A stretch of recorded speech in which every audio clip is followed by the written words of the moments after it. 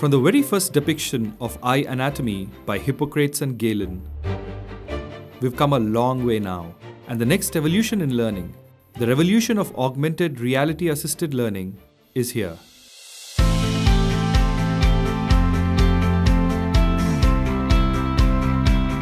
Augmented reality adds a whole new dimension to teaching and learning. It allows you to project information of three dimensional models in space and learn in a new perspective. Human eye anatomy can be studied in greater detail, with the learning made more experiential. This enables us to holistically study the eyeball, ocular adnexa, and the visual pathway. It also allows us to split individual parts to their component layers, as in the case of the cornea and also allows us to pick individual cells to study them in detail. Think of cornea, how it keeps its clarity and compactness. There are many factors which contribute to this, but one of the most important factor is endothelial pump. And today, augmented reality, you can walk into the endothelial cells, experience the pump yourself, and this is what I call a transformational learning.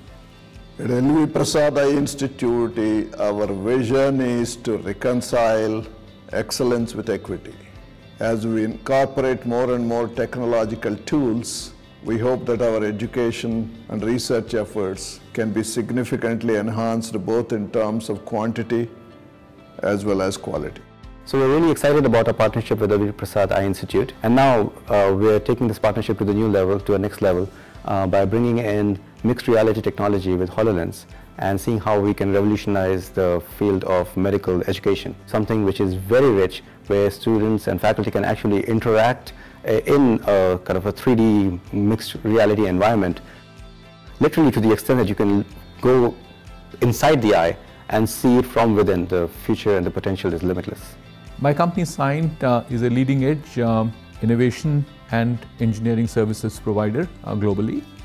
We collaborated with the LV Prasad Eye Institute to produce some of the best social innovations in eye care. We believe this collaboration with LV Prasad Eye Institute will continue to make sure we produce education and learning tools for future generation. The process started with an artist rendering the images of the models and the 3D modeling of the same. It is exciting to see the way in which concepts can be understood in a new dimension. The models were coded onto the device and projected through the HoloLens.